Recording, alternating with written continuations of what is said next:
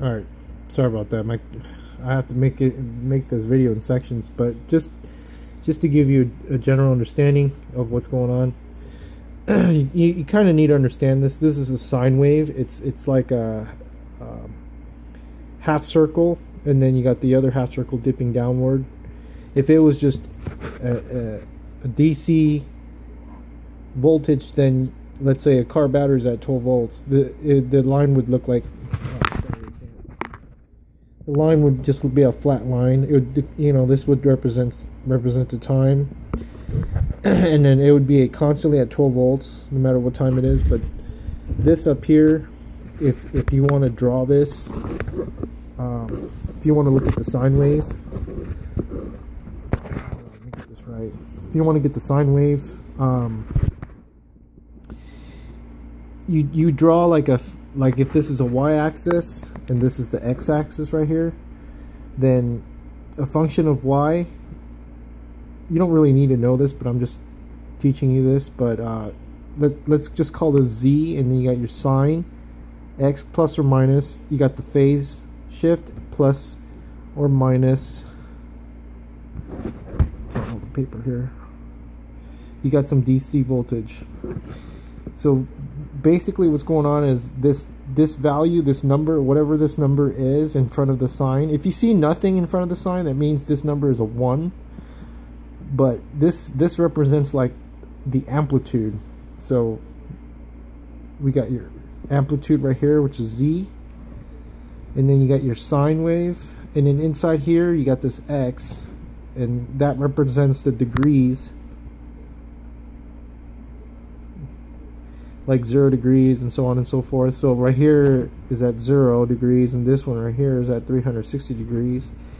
And then this phase angle right here, that tells you how much to shift that way or this way. If if it's a plus, I'm sorry, if, if this right here is a plus 30 degrees, then your your sine wave, the whole complete sine wave would shift to the left. And then if this is a minus certain degrees, it would shift towards the right that many degrees. I don't know why it's getting weird. Shoot. Anyhow, then you got your. Why is it blurry? Huh. So, anyways, so you got your DC plus or minus DC offset so what this voltage here, this is another number, what this voltage here does. Uh, the way we look at it in the utility, the power, there is no DC offset.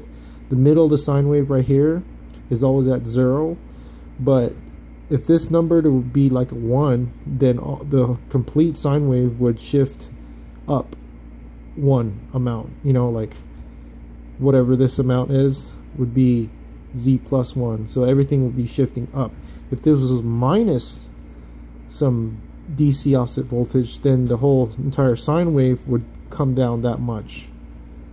Uh, it would everything would shift down. Um, so interesting interesting thing to know. It's blurry.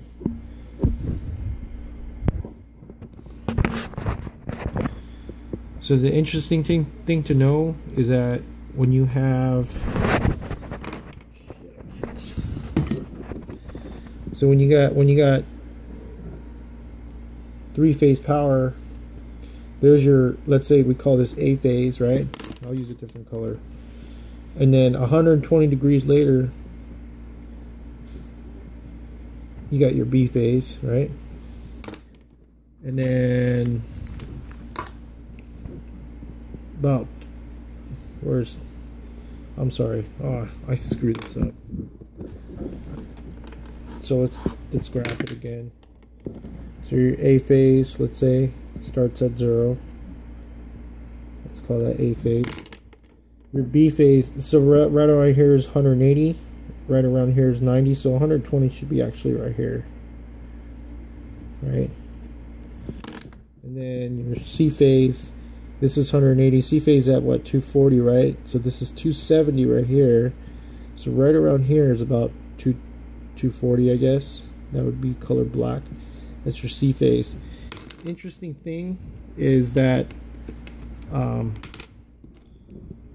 well anyways your your your your A graph your A phase graph uh, would be let's just call it sine x your B your B phase graph would be sine x of minus 120 degrees right? And your C phase graph